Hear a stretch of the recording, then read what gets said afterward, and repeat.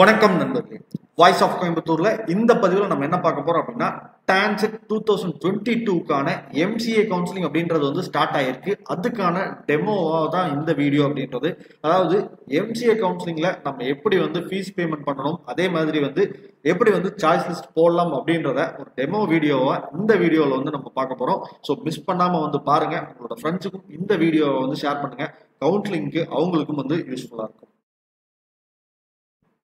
As usual நம்ம வந்து என்னன்னா டிஎன் எம்பிஏ எம்சிஏ அந்த லாகின் வெப்சைட்குள்ள உள்ள போய்க்கிறோம். உள்ள போயிட்டு யூசர் நேம் பாஸ்வேர்டு வந்து கொடுத்துக்கிறோம்.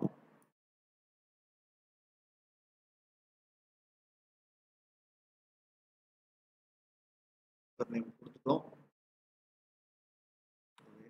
பாஸ்வேர்டு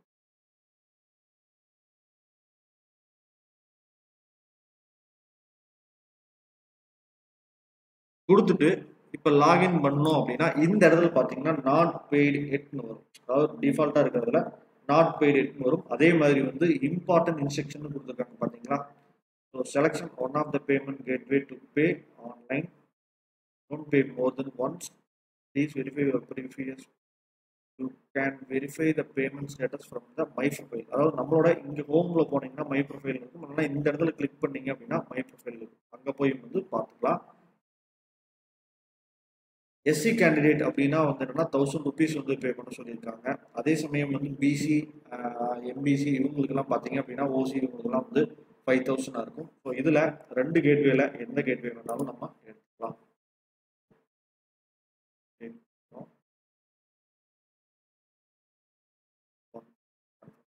அதுக்கப்புறம் பார்த்தீங்கன்னா ஒன்று ஐஓபி நெட் பேங்கிங் இருந்தது அப்படின்னா ஐஓபி நெட் பேங்கிங் கொடுங்க. அப்படி இல்லை அப்படின்னா வந்து எனி நெட் பேங்கிங் அல்லது டெபிட் கார்டு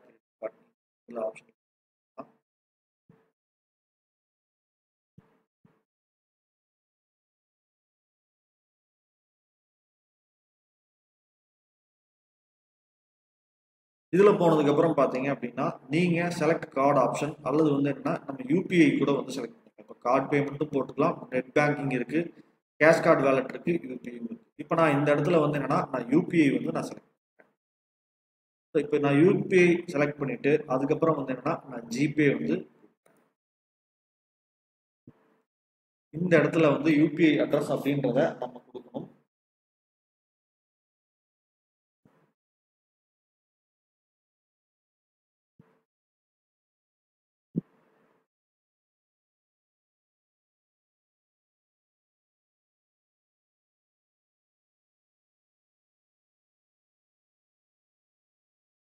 என்னோட யூபிஐ அட்ரஸ் நான் கொடுக்குறேன்.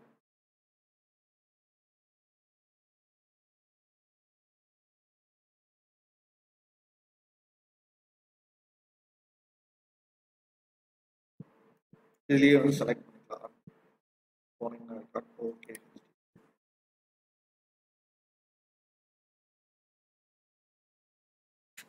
வெரிஃபை கொடுக்குறோம். அடுத்தது பெய்ட்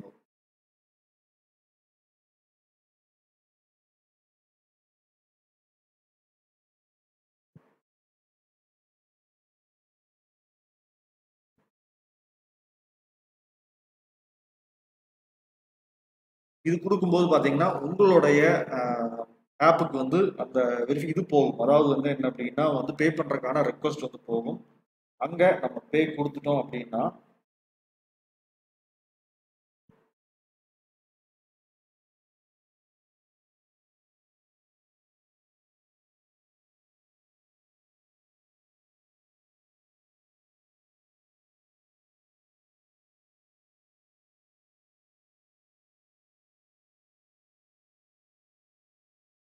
இப்போ வந்து நான் வந்து பே பண்ணிட்டேன். பே பண்ணதையும் வந்து இங்கே ரிஃப்ளெக்ட் ஆகுது.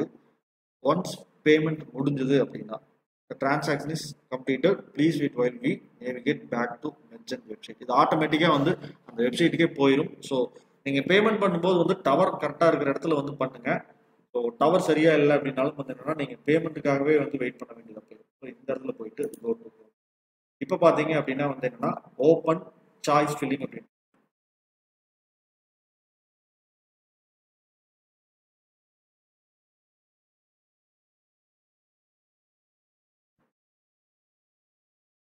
இப்போ வந்து பேமெண்ட் அப்படின்றது வந்து நம்ம முடிச்சிட்டோம். ஒன்ஸ் வந்து பேமெண்ட் முடிச்சதுக்கப்புறம் பார்த்தீங்கன்னா இனிஷியல் டெபாசிட் பேமெண்ட் ஸ்டேட்டஸ் பெய்டுன்னு வரும். அதுக்கப்புறம் பார்த்தீங்க அப்படின்னா இந்த இடத்துல இருக்கக்கூடிய ஓப்பன் சாய்ஸ் ஃபில்லிங் அப்படின்றத வந்து கொடுக்கணும். ஒன்ஸ் ஓப்பன் சாய்ஸ் ஃபில்லிங் கொடுத்தா இந்த இன்ஸ்ட்ரக்ஷன்ஸ் எல்லாம் இருக்கும். இந்த இன்ஸ்ட்ரக்ஷன்ஸ் எல்லாம் என்ன அப்படின்றத நான் ஓவர் வியூவாக நான் சொல்கிறேன் அதாவது வந்து நமக்கு எந்த காலேஜ் வேணுமோ அந்த காலேஜ் வந்து நம்ம செலக்ட் பண்ணிக்கலாம். அதே மாதிரி எத்தனை நம்பர் ஆஃப் காலேஜஸ் வேணாலும் கொடுத்துக்கலாம். இத்தனை காலேஜஸ் தான் கொடுக்கணும் அப்படின்றது லிமிட் கிடையாது. ஸோ சாய்ஸ் லிமிட் அப்படின்றது கிடையாது. நீங்கள் எத்தனை காலேஜ் வேணாலும் கொடுத்துக்கலாம். அதே மாதிரி வந்து இந்த எஸ்சிஏ அப்புறம் எஸ்டி கேண்டிடேட்டுக்கு பார்த்தீங்கன்னா சில காலேஜஸில் அதாவது இந்த வேகன்சி லிஸ்ட்டில் பார்த்தீங்கன்னா அந்த சீட்ஸ் அந்த கம்யூனிட்டிக்கான சீட்ஸ் அப்படின்றத வந்து அலகேட் பண்ணியிருக்க மாட்டாங்க. இருந்தாலும் நீங்கள் ஓசி கேட்டகரியில் சீட்ஸ் இருக்கும் அப்படின்றதுனால அந்த காலேஜஸையும் வந்து நீங்கள் லிஸ்ட் அவுட் பண்ணலாம். இது குறிப்பாக எஸ்சிஏ எஸ்டி கேண்டிடேட்ஸ் மட்டும்தான் வந்து அந்த மாதிரி பிரச்சனை வரும். மீதி இருக்கிற அத்தனை ரிசர்வ் கேட்டகரிக்கும் வந்து எல்லா காலேஜஸ்லையுமே வந்து சீட் அலகேட் ஆகிருக்கும் அதே மாதிரி செலக்டட் சாய்ஸை வந்து நீங்கள் அரேஞ்ச் பண்ணிக்கலாம். அதாவது ஒன்ஸ் நீங்கள் செலக்ட் பண்ணும்போது இருக்கிற ஆர்டரை எப்படி வேணாலும் மாற்றிக்கலாம் ஃபஸ்ட்டு இருக்கிற தேர்டாக போடலாம். தேர்டாக இருக்கிற ஃபிஃப்த்து போடலாம். ஃபிஃப்த்தாக இருக்கிற காலேஜை எகைன் வந்து ஃபர்ஸ்ட் காலேஜுக்காக கூட வந்து கொண்டுட்டு வரலாம். அது எப்படின்றத நம்ம இப்போ டெமோவாக பார்க்கும்போது கூட நான் சொல்கிறேன் அதே மாதிரி வந்து என்னன்னா காலேஜ் லிஸ்ட்டை எப்படி நம்ம செலக்ட் பண்ணலாம்னா நேம் கொடுத்து அதே மாதிரி காலேஜ் கோடு கொடுத்து அல்லது வந்து டிஸ்ட்ரிக் ஆர் கேட்டகரி கொடுத்து பண்ணலாம். காலேஜ் கோடு கொடுத்து நீங்கள் செலக்ட் பண்ணும்போது வந்து மிஸ்டேக் வராது. நான் ப்ரிஃபர் பண்ணுறது அப்படின்றதும் பார்த்தீங்கன்னா காலேஜ் கோட் அப்படின்றது தான். அதே மாதிரி வந்து ஒன்ஸ் வந்து உங்களுக்கு சாய்ஸ் லிஸ்ட் எல்லாம் ஃபைனல் ஆயிடுச்சு எவ்ரி திங் ஓகே உங்களுக்கு சாட்டிஸ்ஃபைட் அப்படின்றதுக்கு அப்புறம் வந்து நீங்க லாக் சாய்ஸ் அப்படின்றது கொடுக்கலாம். லாக் சாய்ஸ்னு கொடுத்தீங்க அப்படின்னா வந்து ஓடிபி வரும். உங்களுடைய ரெஜிஸ்டர்ட் மொபைல் நம்பருக்கு ஒரு ஓடிபி வரும். இமெயிலுக்கும் வந்து ஓடிபி வரும். ஸோ இதில் எதுலேருந்து வேணாலும் எடுத்து நீங்கள் ஓடிபி கொடுத்து லாக் பண்ணிட்டீங்க அப்படின்னா அதுக்கப்புறம் வந்து சேஞ்ச் பண்ண முடியாது. நைன்டி நைன் பர்சன்டேஜ் சேஞ்ச் பண்ண முடியாது. ஜிசிடிக்கு கால் பண்ணி மேபி ரிக்வஸ்ட் பண்ணனா சில நேரங்களில் வந்து அவங்க ஓப்பன் பண்ணி விடுவாங்க. ஸோ அது நம்ம சிரமமான ப்ராசஸ் நம்ம கஷ்டமான ப்ராசஸ் எல்லா நேரமும் வந்து பண்ணுவாங்க அப்படின்றதையும் வந்து நம்ம எதிர்பார்க்க முடியாது. அதனால சாய்ஸ் லாக் பண்ணுறதுக்கு முன்னாடி வந்து கரெக்டாக கொடுக்குறீங்களா அப்படின்றத கன்ஃபார்ம் பண்ணிக்கங்க. அதே மாதிரி ஓடிபி அப்படின்றது வந்து மேக்சிமம் மூணு தடவை தான் வரும். அதுக்கப்புறம் வந்து வராது. ஒன்ஸ் வந்து நீங்கள் ஓ அதாவது வந்து சாய்ஸ் லிஸ்ட் போட்டுடுறீங்க சேவ் கொடுத்துட்றீங்க பட் லாக் பண்ண மறந்துட்டீங்க அப்படின்னு என்ன ஆகுதுன்னா நீங்கள் ஃபைனலாக எந்த காலேஜ் லிஸ்ட் கொடுத்து சேவ் பண்ணீங்களோ அந்த காலேஜ் லிஸ்ட்டோடவே வந்து அது எடுத்துக்கும். அதுக்கப்புறம் நம்மளால் வந்து சேஞ்ச் பண்ண முடியாது. இன்கேஸ் நீங்கள் சாய்ஸாக லாக் பண்ணாமல் விட்டுட்டாலும் அந்த பிரச்சனை இருக்குது ஏன்னா நாளைக்கு ஈவினிங் அஞ்சு மணி வரைக்கும் வந்து சாய்ஸை நீங்கள் வந்து லாக் பண்ணிக்கலாம். இந்த இடத்துல நான் சொன்ன மாதிரி வந்து காலேஜ் கோடு கொடுத்து வந்து செலக்ட் பண்ணிக்கலாம். இப்போ college code Anna university CEG campus அப்படின்னா ஒன்று ஒன்று கொடுத்துட்றோம். ஒன்று ஒன்று கொடுத்தீங்க அப்படின்னு பார்த்தீங்கன்னா வச்சுக்கோங்களேன். இதில் வந்து செலக்ட் அதாவது இந்த செலக்ட் ஆப்ஷனை கிளிக் பண்ணிட்டு ரீஆர்டர் மை சாய்ஸ் கொடுத்தீங்கன்னா அடுத்தது மறுபடியும் போய்க்கலாம். இப்போ இந்த இடத்துல போயிட்டு evening college Anna university evening college இப்போ இதை வந்து நம்ம செலக்ட் ரீஆர்டர் மை சாய்ஸ் இப்போ அடுத்ததாக வந்து என்னன்னா நான் பிஎஸ்ஜி கொடுக்கணும்னு நினைக்கிறேன் அப்படின்னா பிஎஸ்ஜிக்கான கோட் அப்படின்றது two double zero six first aided கொடுக்குறேன். செலக்ட் பண்ணிக்கிறேன். ரீஆர்டர் சாய்ஸ் இதில் வந்துடுது அதுக்கப்புறம் அடுத்த சாய்ஸ் போகிறேன் டூ டபுள் ஜீரோ சிக்ஸ்லேயே செல்ஃப் சப்போர்ட் கொடுக்குறேன். Two double zero six self support கொடுக்குறேன். இது முடிஞ்சிச்சு. அடுத்தது பார்த்தீங்க அப்படின்னா ரீஆர்டர் ப்ரைஸ் எதுக்கு பேக்கப்புக்கு நான் வந்து நைன்டி நைன் பர்சன்டேஜ் இருக்கிறேன்னு வச்சுங்களேன் எனக்கு இதுலேயே கிடைச்சிடும் பட் இருந்தாலும் நான் பேக்கப்புக்காக அடுத்ததாக ஒரு காலேஜ் வந்து சிஐடி கொடுக்குறேன். டூ டபுள் ஜீரோ செவன் இது கொடுத்துட்டு இதையும் செலக்ட் பண்ணிவிட்டு இப்போ ரீஆர்டருமே சாய்ஸ் கொடுத்துறேன். இப்போ அஞ்சு காலேஜ் வந்து நான் கொடுத்தேன் இதில் நான் என்ன நினைக்கிறேன்னா இல்லை எனக்கு நான் சிஇடி தான் வந்து ஃபர்ஸ்ட் ப்ரிஃபரன்ஸாக நினைக்கிறேன் அப்படின்னா இதை மாற்ற முடியுமானா கண்டிப்பாக மாற்றிக்கலாம் எப்படின்னா மூவ் அப் ஒன்னொன்னா வந்து மேலே போய்கிட்டே இருக்கும். இப்போ பார்த்தீங்கன்னா சிஐடி வந்து ஃபர்ஸ்ட் சாய்ஸாக வந்து போயிடும். அதே இது அண்ணா யூனிவர்சிட்டி ஈவினிங் காலேஜ் அப்படின்றது எனக்கு லாஸ்ட் ஆப்ஷனாக மாற்றணும் அப்படின்னா நீங்கள் இதை கொடுத்துட்டே வந்தீங்க அப்படின்னா லாஸ்ட் ஆப்ஷனாகவும் வந்துடும். ஸோ இந்த மாதிரி வந்து மாற்றிக்கலாம் ஒன்ஸ் வந்து இதெல்லாம் கொடுத்தது கரெக்டாக என் ஃப்ரெண்ட்ஸ் யாருக்காச்சும் கொடுத்து செக் பண்ணி பார்க்கணும் அப்படின்னா என்ன பண்ணலாம் அப்படின்னா இங்கே டவுன்லோட் மை சாய்ஸ் இதை கொடுத்தீங்க அப்படின்னா டவுன்லோட் ஆகும். இதுக்கப்புறம் வந்து உங்களுடைய ஃப்ரெண்ட்ஸ் உங்களோட குருஸ் யாராச்சும் இருந்தாங்கன்னா உங்களோட டீச்சர்ஸோ உங்கள் ஃப்ரெண்ட்ஸோ யார்கிட்டயாச்சும் வந்து சீனியர்ஸாக இருந்து நீங்கள் கிராஸ் செக் பண்ணிக்கணும் கன்ஃபர்மேஷனுக்கு முன்னாடி அப்படின்னு நினைக்கிறப்ப வந்து இந்த பிடிஎஃப் ஃபைல் அப்படின்றத வந்து நீங்கள் அனுப்பி வந்து செக் பண்ணிக்கலாம். நீங்களே வந்து என்ன பொறுமையாக கரெக்டாக இருக்கா அப்படின்றதையும் வந்து பார்த்துக்கலாம். ஒன்ஸ் இது பார்த்துட்டு கரெக்டாக இருக்கு அப்படின்னா மட்டும் வந்து இந்த இடத்துல இருக்கு பார்த்தீங்களா லாக் மை சாய்ஸ் இந்த லாக் மை சாய்ஸ் கொடுத்தீங்க அப்படின்னா வந்து ஓடிபி ஜென்ரேட் ஆகி வரும். ஸோ அதை கொடுத்துட்டு வந்து நீங்கள் ஃபைனலாக கன்ஃபார்ம் பண்ணிடலாம். So save கொடுத்துக்குங்க.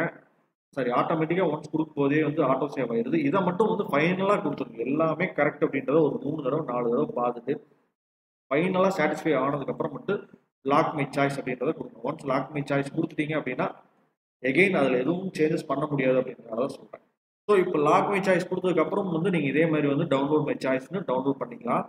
அப்படி நீங்கள் டவுன்லோட் பண்ணும்போது என்ன ஆகும் அப்படின்னா இந்த சாய்ஸ் ஆர்டரில் அப்ளிகேஷன் லாக் அண்ட் ஸ்டேட்டஸ் நோன்னு இருக்கிறது வந்து என்ன ஆகும்னா எஸ்ன்னு வந்து மாறிக்கும். ஸோ அதனால் இப்படி தான் வந்து பண்ணணும். இப்படி பண்ணும்போது வந்து என்ன உங்களுக்கு மிஸ்டேக்ஸ் வராது அப்படின்றது தான் வந்து நான் சொல்லணும்னு நினச்சேன்.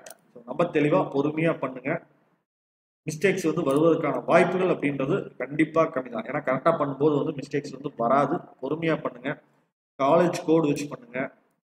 ஸ்கோர் கம்மியாக அதாவது உங்களுடைய பர்சன்டேஜ் வந்து கம்மியாகுது அப்படின்னா உங்களுடைய நம்பர் ஆஃப் காலேஜ் அப்படின்றத அதிகமாக கொடுங்க. அப்படி கொடுத்தீங்க அப்படின்னா வந்து என்ன கரெக்டாக இருக்கும். ஸோ இதுதான் நான் சொல்லணும்னு நினைக்கிறேன்.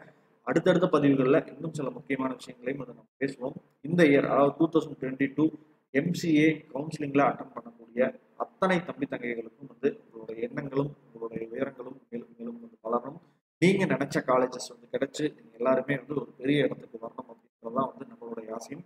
வாய்ஸ் ஆஃப் கோயம்புத்தூர் உங்களை வந்து வாழ்த்துகிறது. பெரிய பெரிய இலக்குகளை நோக்கி பயணங்கள் தொடரட்டும். அடுத்தடுத்த பதிவுகளில் இன்னும் சில முக்கியமான விஷயங்களை பற்றியும் வந்து நம்ம பேசுவோம்.